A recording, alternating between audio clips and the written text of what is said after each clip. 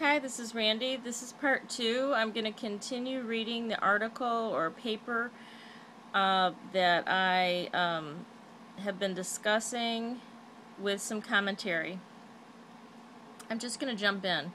Levant goes on to explain that this goes on to promote a non relational sexuality in men in which they have easy access and can achieve sexual satisfaction without concern for the woman or natural attachments that would be made in real intercourse. So I'm continuing reading the article um, just prior. It was discussing the kinds of pornography that are typically seen uh, rape scenes and domination that has nothing to do with love or emotional attachment. There are three primary elements to this non relational sexuality. Firstly, there is the matter of objectification, in which the woman is no longer a person, but a mere sexual plaything. Secondly, in fixation, the male focuses his attention of a of a specific part of the female anatomy and not on the woman herself. Lastly, the notion of conquest and the importance for the man to win her. Certain sexual expectations are made and often unfulfilled. Sex is transformed into a commodity and creates what Levant calls centerfold syndrome. This occurs when the view that the man have of women becomes distorted, distorted and they view females solely as objects for sex. And haven't isn't this what we see today? It creates an addiction to the female body and contains several other negative elements. As if they already, you know, as if they needed any prodding along to become addicted to the sexual, I mean, to the female body, even without porn, right? I mean, the first is the idea of voyeurism, in which the man can look at, at women whenever he pleases, seemingly without repercussions. So, watching porn from that voyeuristic view promotes catcalling and this feeling like, you know, you're allowed to look, stare, and um, allow your fantasies to run wild because that's what you do when you're watching porn. And you're so conditioned to doing it the visual becomes a central theme to sexual interaction. The second problem is the objectification, as previously mentioned. Levant quotes, She is not human, for the pornographic camera performs a miracle in reverse. Looking on a living being, a person with a soul, it produces an image of a thing the next problem is using women for masculinity validation.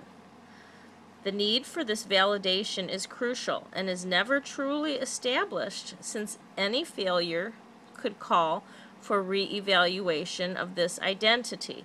So when the man watches porn, he doesn't have to he doesn't have to prove anything. He doesn't have to establish anything. He doesn't have to put into any any effort um, to get this so-called reward. Uh, thus, the man has learned the graphic responses that they must achieve from women to feel validated that their sexual about their sexual prowess. So, this is how they learn that the way that they get validated is through acting like how the porn stars act. And I don't know. I'm not quite sure that that's how a man is going to get his identity validated. I'm quite sure that his entire identity does not rest upon the way that he has sex and that that is not the main feature or the only feature that a woman would look upon in order to validate or choose a partner. If they are, they're going to be in some severe trouble. Yet another issue that arises is trophyism, where men begin to, begin to flaunt their sexual conquests and reduce an entire person to a number. Here, they meet a conflict in which society condemns womanizers, yet holds hold characters like James Bond in high self-esteem, thus confusing men in producing contradictory examples for proper interaction. Lastly is the fear of true intimacy that arises in men. Early childhood traumas can learn can learn a sort of ambivalence toward women. Uh, toward women's bodies as they epitomize all things that boys are conditioned against, such as intimacy, softness, sexuality, and comfort. These effects all impact women so strongly that naturally relationships feel the impact of these materials as well. Zitzman states that by divorcing the sexual response and experience from the natural constraints of attachment relationship, pornography elicits and enables the development of addictive dynamics. The reinforced view of sex without attack without attachments builds a narcissistic view and habit of release without attentiveness or responsiveness.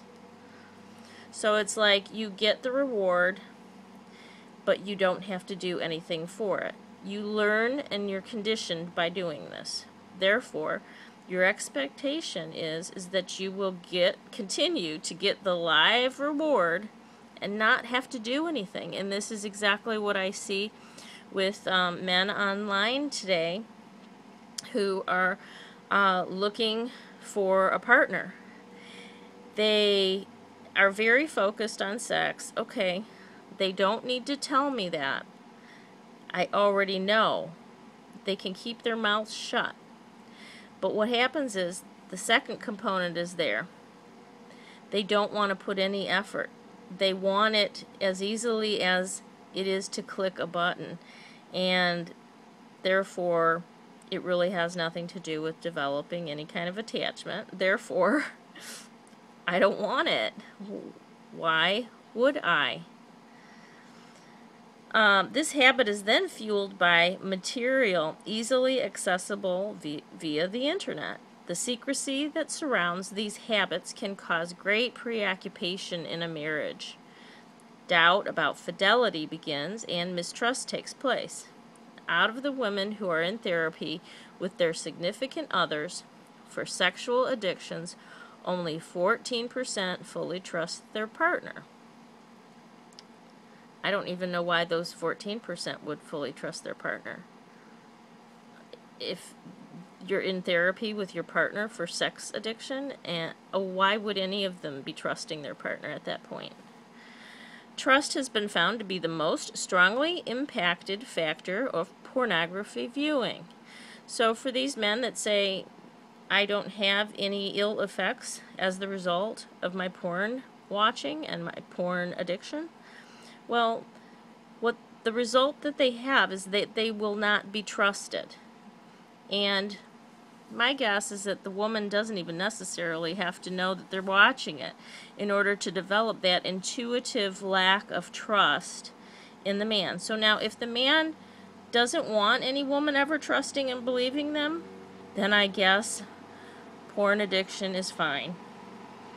But I think in order to develop a good relationship, you want to be able to trust the other person and you would love for them to also trust you. But men, no one's going to trust you while you're preoccupied with pornography. And it doesn't matter if you're the nicest, supposedly nicest guy on earth. Because to me, nice guys don't objectify women and they don't support an industry that consists of a bunch of damaged women and a dark underground mafia like system that uh, benefits and profits from the um, control, coercion, and uh, degradation of women and their souls. Women also tend to feel overall a sense of disconnection and distance, a breakdown in assumptions and expectation, as well as the general feeling of being emotionally and psychologically unsafe. So, the way we feel emotionally and psychologically unsafe when we're with a narcissist and we just can't put our finger in it on it on the reason why for me personally some of that i think stems from what i found later to be my ex somatic covert malignant narcissist antisocial blah blah blah on and on whatever he has um, that that made me feel very emotionally and psychologically unsafe because I did find out that he was viewing porn and it wasn't only that but it ended up going to online um, trolling for women that were willing to have casual encounters uh, for free um, some kind of dirty, nasty meetings, uh, and this is of some person that holds himself in very high esteem as this very, you know, upright citizen that uh, would never do such a thing.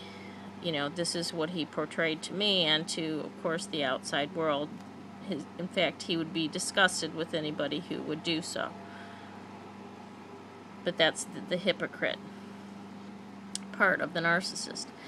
Uh, this may result in the loss of secure attachments and develop into an unhealthy form of interaction. So you could form an attachment and then um, lose the attachment with your partner as a result of becoming addicted to pornography. The lack of security often causes women to retreat physically, and mutual sexual gratification decreases for both parties. So, therefore, what happens is is that you're watching all this porn, maybe behind your wife's back. You're getting all these things are happening in your brain, and uh, you're denying that you have any problem, and you're just thinking that you're being gratified because you know, and probably rationalizing all over the place that this is something that's good for you and your marriage and something that your body needs and all this other bullshit.